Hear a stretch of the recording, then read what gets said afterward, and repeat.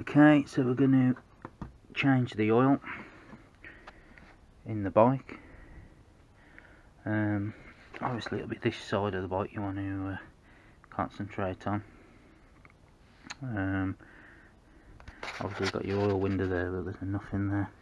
Now the filter on these um, is actually like the Hondas they're based on is a, a metal gauze or it's a thimble type in this one whereas on the CBF it's like a, a flat um, mesh.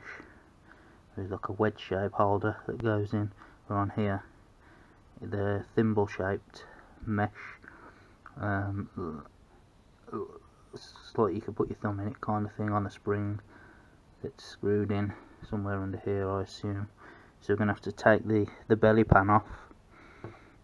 These screws and this screw here and obviously the other side and remove that before we get under there.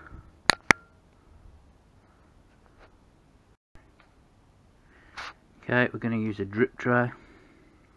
Obviously this is just an old um, tub for the sink from the from your kitchen sink that I kept when we replaced it for a new one. Obviously it's good enough for this, it'll just it'll fit underneath and catch the catch the oil.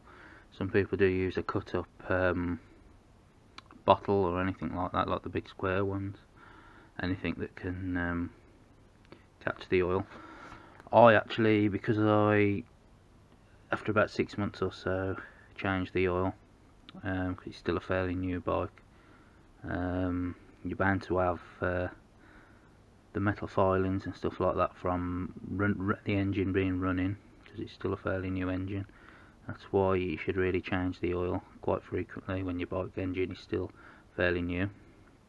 Um, this kind of stuff from Halfords is uh, good enough to use. I had some of that there but I topped up um, mine in the air so it's not quite full so I can't really use that as well. Well that's good enough. The, the 10 10W44 stroke um, but when I went the other day the the Castrol was the same well a penny difference. So for the same for a litre 10 W44 stroke. So um, I thought I'd try this for the sake of a penny. You might as well. But but something like the Halfords um, one is fine. Um, I'll just keep, I'll keep that to the side now because I'll be using this. Um, we'll get we'll take a look at uh, getting down and do it. Now what I, what I do generally tend to do with the old oil that I collect because it's not that old um, my lawn petrol lawn mowers do use the same white oil and type oil. So uh, I'll keep that and bottle it and generally put it in my lawn mowers can also use it for a bit in my cheap um, air tools as well to keep them lubricated. Okay so that's a little tip for you actually on the lawnmower. It's just a four stroke um, petrol engine. If you don't have um, any lawnmower oil it is just 10W40 as you can see there.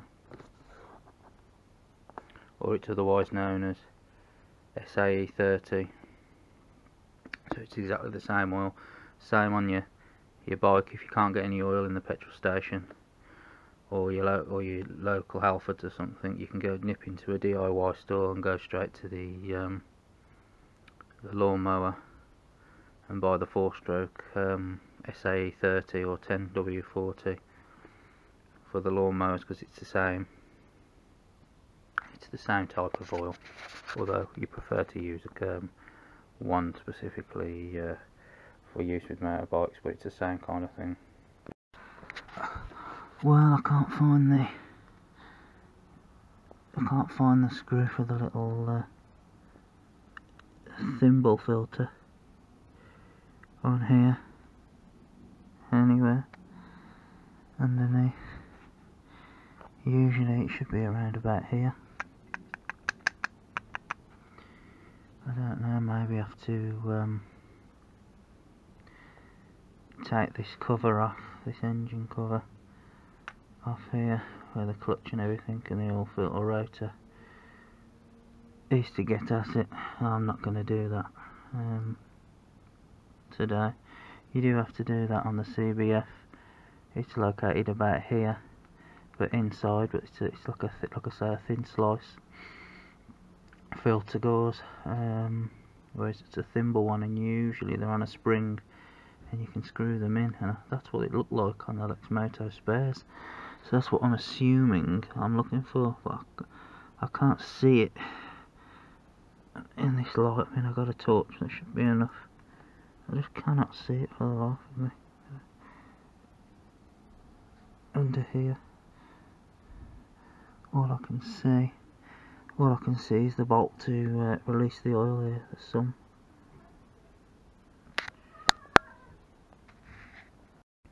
Okay, so if you undo your topping up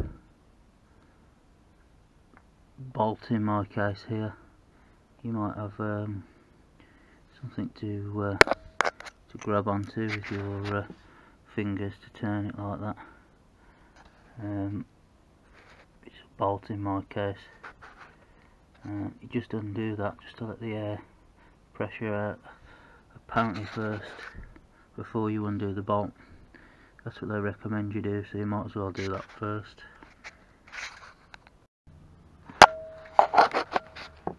Okay, so we can then undo the sump bolt. This is um, where is it? 17 size, 17 millimeter bolt. Uh -huh. opposite side. Screw that out, the oil should just fall out.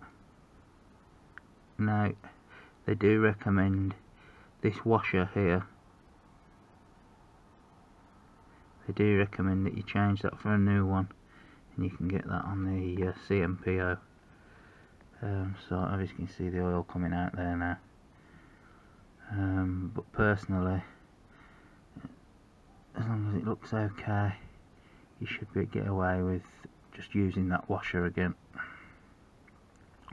I don't think many people do uh, bother to actually bother changing the washer really on most bikes when they do it but they do recommend it you do that's probably because of the the seal that might be um, on there when the washer uh, is fully torqued and crushed down. It might bend the washer the bolt and when it's moved from where it was originally and then moved around a little bit more when you put it back in again there might be a kink in the washer and that might not quite seal it as well as it was previously but it should generally be okay as long as you can inspect it and it doesn't look too warped or bent. It should be fine. Now like I say I'm going to keep this oil and it's the same type as the lawnmowers it's not that old. I'm going to put it back back through and, and use it up into uh, my lawnmower. It's, it's got to cut two pieces of grass it's not going to run the uh, the Le Mans uh, 24 hour the lawnmower so this, this uh, oil should be fine. To put back in there again not going to waste that. It's still pretty dark but some of this that's coming out now looks starting to look pretty clear so there's like I say it's not that old this oil but you should really uh, give yourself an oil change with a fairly new motor. Quite free once the bolt's been tightened back up and every, all the oil, last bit of oil's been drained out. You wanna, might want to get on top of the bike and give it a shake from side to side while it's still over the tub just to make sure that every uh, as bit as you could you got out of there. Like I say I've had no joy in trying to locate this um, filter.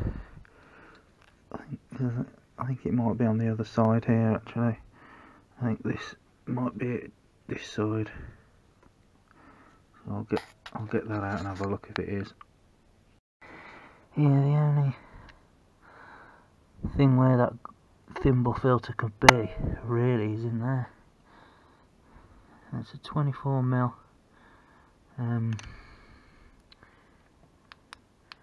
it's a 24 mil on there, but if you look closely, there's like a, you know, like a slight rounding already on there.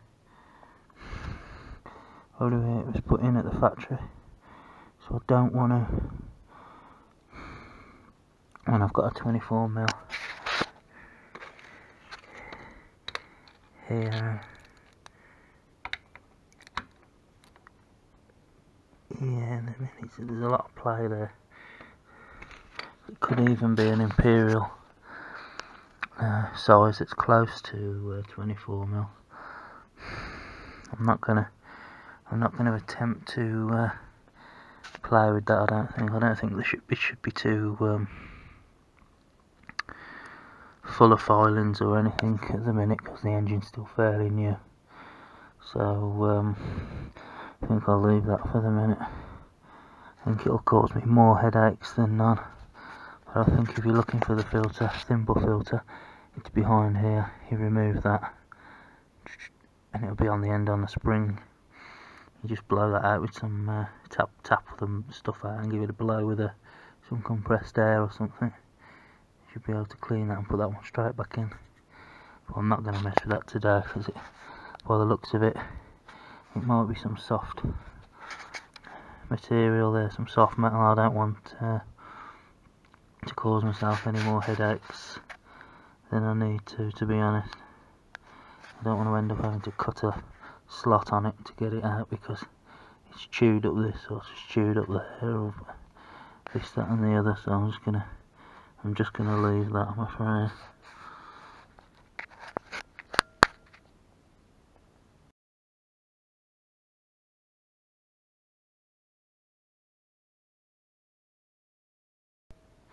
Now all I need to do is to fully remove this um, filling cap and refill with the new oil.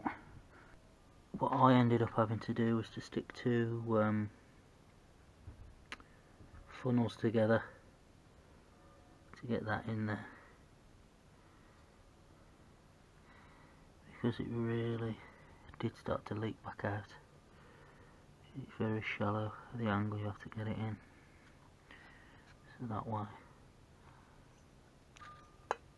I can tip that upright and put it right in next to the the opening.